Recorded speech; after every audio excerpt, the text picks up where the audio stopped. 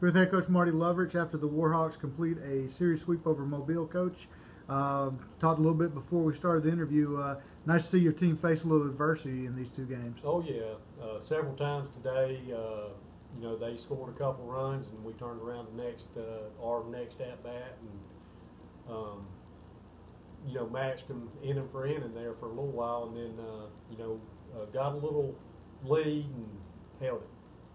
Talk a little bit about uh, offensively. You guys got a lot of production up uh, up and down your lineup. Uh, Houston Davenport really had a nice second game for you, but uh, seems like you're getting contributions from a lot of guys in the lineup right yeah, now. that's that's kind of how we're built. Is uh, we've got to have you know one through nine all pitching in.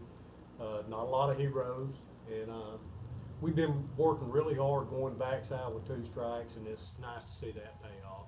Uh, finally, you got uh, a couple of days here. Normally a, a Friday Saturday series today, uh, or this week a, a Thursday Friday due to the weather, and then uh, you got a, uh Georgetown team coming in first part of next week. What are some things you'd like to see shared? Well, the good thing is, is uh, you know we got another quality opponent coming in here. Georgetown's got a, a quality program. Been to the World Series a couple times.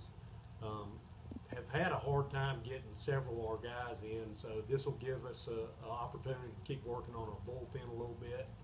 Uh, give a couple of the the bullpen guys some spot starts, so it'll be nice to see them go out there and get their opportunity. well, coach, you improved to 20 and five with the win, six 0 in conference. Congratulations. Thank you.